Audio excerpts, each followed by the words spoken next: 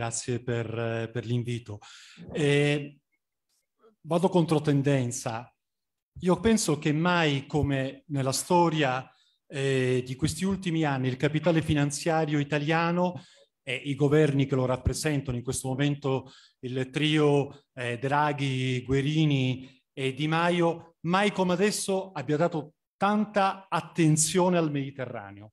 tanta che il Mediterraneo si è allungato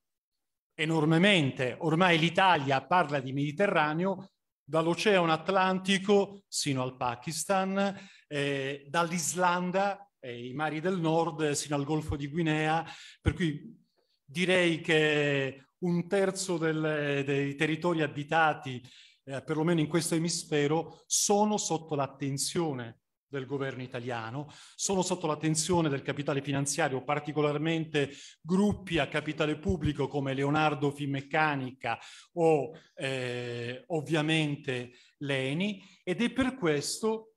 che moltiplichiamo le operazioni, le missioni internazionali, spendendo più di un miliardo e 200 milioni di euro all'anno, inviando militari a destra a manca, anche fuori dal cappello della Nato. Questo lo dico perché eh, dobbiamo anche a sinistra rompere una lancia, smetterla di dire eh, siamo ancora sudditi perché abbiamo perso la seconda guerra mondiale, andiamo dove ci dicono gli americani di andare. Non è esattamente così. Noi dal primo settembre assumeremo il comando di una flotta non dell'Unione Europea, ma una flotta europea, per controllare lo stretto di Hormuz, ossia ampliando quello che è il braccio di ferro tra il mondo occidentale, Israele, pe i petroregimi del Medio Oriente e l'Iran. Pertanto, come se non ci bastassero gli enormi conflitti in cui in questo momento siamo coinvolti. E questa estensione del Mediterraneo che si allunga come, vi ricordate tira e molla, cioè questa cosa gigante che, eh, di plastica che si allunga, ha degli effetti enormi su quello che è il mezzogiorno. Perché ovviamente nel momento in cui inviamo militari a destra a manca, i militari nel 90% vengono dal mezzogiorno. In questo momento la presenza dell'esercito a due passi dall'Ucraina, a due passi dalla Russia, a due passi dalla Bielorussia, in Lettonia, è fatto dai bersaglieri di Caserta e dei reparti che sono presenti in Puglia e in Calabria, ossia il 99% meridionali. I cacciabombardieri che sino a ieri erano in Romania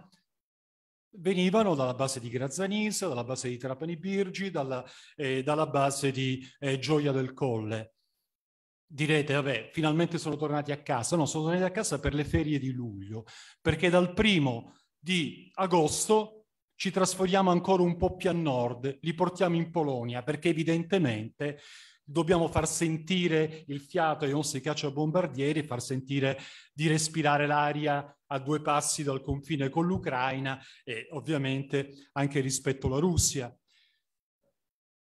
Questa politica di estensione del Mediterraneo non può non aver avuto effetti su quello che è il rafforzamento e Madrid, il vertice, lo ha detto benissimo prima eh, Roberto Musacchio, avrà degli effetti accelerando e rafforzando il processo di realizzazione di questi grandi poli militari che si sono creati, guarda caso, principalmente nella fascia centro-meridionale, il polo toscano, lo abbiamo visto Coltano non è, non cade nel, eh, non è una scelta, eh, come potrei dire, di miglioramento delle condizioni di vivibilità delle forze armate, in questo caso l'arma dei carabinieri. No, entra perché c'è un settore particolare che è il potenziamento del triangolo Firenze, Pisa, Livorno. Abbiamo visto quanto Pisa sia fondamentale in questo momento nelle operazioni di rifornimento militare dell'Ucraina e quanto da Pisa partino eh, anche gli aerei di intelligence che fanno le operazioni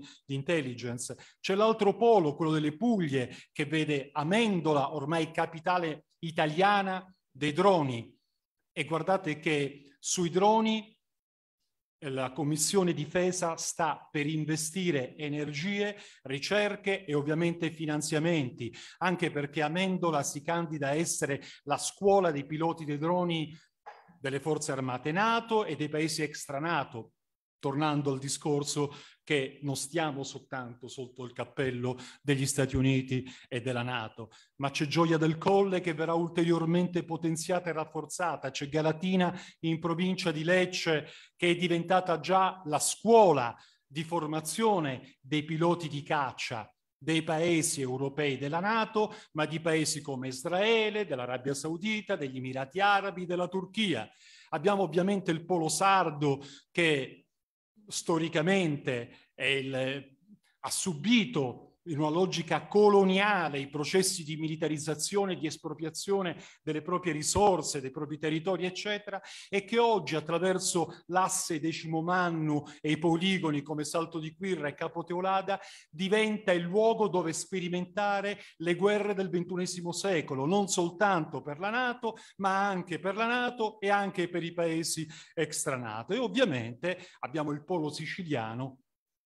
e questo andrebbe veramente monitorato e attenzionato perché oggi non rendersi conto quanti processi di militarizzazione abbiano devastato non soltanto dal punto di vista socio-economico, ma anche dal punto di vista culturale, quanto siano entrati nella formazione, nelle scuole, nel mondo accademico, nel mondo universitario, quanto stiano entrando oggi nell'economia, nel modello anche eh, di trasformazione delle start-up, eh, delle, delle industrie, quanto anzi diventino il polo attrattivo di quei pochi soldi del PNNR che vengono destinati al mezzogiorno che non sono soldi per migliorare le reti eh, viarie, non sono soldi per migliorare, eh, ridurre il gap nel sistema accademico, scolastico o nel sistema sanitario, ma che vanno anche lì nella logica del finanziamento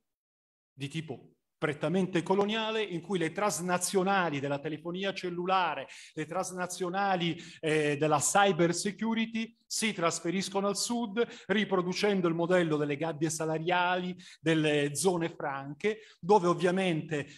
eh, succhiare i fondi capitalizzare enorme, immagino lasciando fra qualche anno aree eh, di devastazione in questo senso. Madrid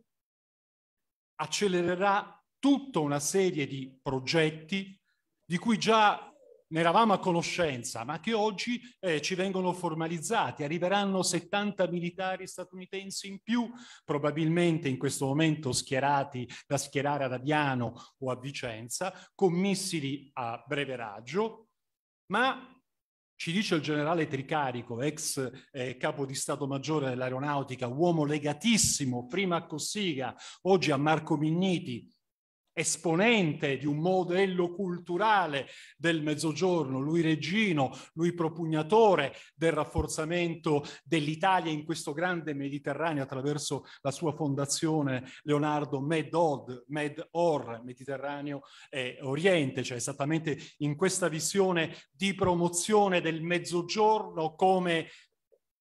gendarme armato, gendarme eh, del complesso militare industriale proiettato, ci dice no, ma non ci bastano soltanto i missili a corto raggio, abbiamo bisogno anche di quelli a medio e a lungo raggio, esattamente proponendo, e se voi vedete quante volte c'è la parola deterrenza nel documento votato a, a Madrid, io tradurrei deterrenza nucleare, tolgono il nucleare, ma è su quello che si punta, ce lo dice Tricarico, riaspettiamoci i cruise 30 anni dopo, riaspettiamoci che nel mezzogiorno d'Italia un territorio verrà prescelto per i nuovi sistemi missilistici perché la risposta alla Russia, la risposta a questa escalation che per ora è soltanto dialettica, in cui il nucleare si usa soltanto come minaccia, ma che diventerà, eh, diventerà eh, di fatto fisica. In Sicilia, in cui si andrà a votare nel mese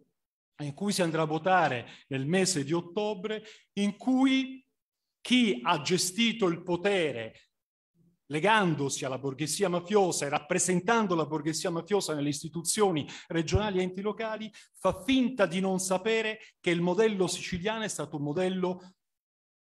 esclusivamente dovuto al militare. Sigonella verrà ulteriormente ampliata, 100 ettari di esproprio, la base di Augusta ampliata perché ovviamente nella proiezione a est e nella proiezione a sud dobbiamo avere un polo energetico, un polo di eh, trasferimento delle armi, eccetera, fondamentale. Si ampliano nuove strutture o vengono recuperate strutture che hanno rappresentato anche il paradigma di un modello di colonizzazione della Sicilia, il modello del confinamento, della sperimentazione delle politiche di repressione delle migrazioni. L'ex cara di Mineo, che è stato per anni, doveva essere il modello dei centri di accoglienza, ma che invece è stato il laboratorio sperimentale proprio per il confinamento di queste politiche, che poi sono diventate politiche europee attraverso Frontex, oggi c'è chi spinge alla sua riconversione in un grande eh, Cyberpark, sarebbe il modello israeliano riprodotto in salsa meridionale, ovviamente attingendo ai fondi del PNNR. Ma si parla anche del riutilizzo della ex base missilistica di Comiso, che non è riuscita a decollare come aeroporto, per trasformarla in una base sperimentale per i lanci eh, dei microsatelliti, anche questi attingendo ai fondi del PNNR e costruendo attorno a sé un consenso consenso che vede la borghesia, che vede gli enti locali, che vede le università e che vede le industrie eh, o pseudo-industrie che sono alimentate. Chiudo dicendo che di fronte a questi scenari che sono drammatici, perché sono scenari che riproducono la guerra, riproducono l'economia e il modello di guerra, però io credo che questa guerra abbia aperto eh, scenari nuovi. Noi stiamo assistendo che nonostante il bombardamento mediatico a cui siamo oggetto e veniamo criminalizzati chi cerca di porre il problema della complessità di questa guerra. Nonostante questo, più del 60-65% della popolazione italiana continua a dichiararsi contro la guerra, continua a rifiutare il modello della guerra. E non è un caso che si stiano moltiplicando iniziative su tutto il territorio nazionale, non è soltanto Coltano, ma c'è la Sardegna, c'è un'estate piena in Sicilia con campeggi che porranno il problema proprio del rifiuto della militarizzazione, ci sono ampi settori del mondo della scuola scuola che si stanno ponendo enormemente il problema della militarizzazione delle istituzioni scolastiche, dell'accademia e dello stesso pensiero, proprio per creare il cittadino modello per le guerre del XXI secolo. Io credo che dobbiamo starci, dobbiamo starci in questi momenti, in queste lotte, lotte che sono convinto cresceranno a settembre, perché l'autunno non potrà che essere caldo di fronte alla devastazione dell'economia di guerra, ed ecco che per la prima volta nella storia recente avremo la possibilità di strappare al populismo di destra la lotta che viene, il bisogno di opposizione al modello neoliberista, arricchendolo e creando veramente il fronte di chi lotta contro le guerre, contro l'economia di guerra, contro le politiche di guerra, riponendo quello che storicamente è stato una delle ricchezze, anche dimenticato dalla sinistra storica della nuova sinistra, un eh, mondo operaio, un mondo del lavoro profondamente antimilitarista, profondamente in rifiuto alla guerra.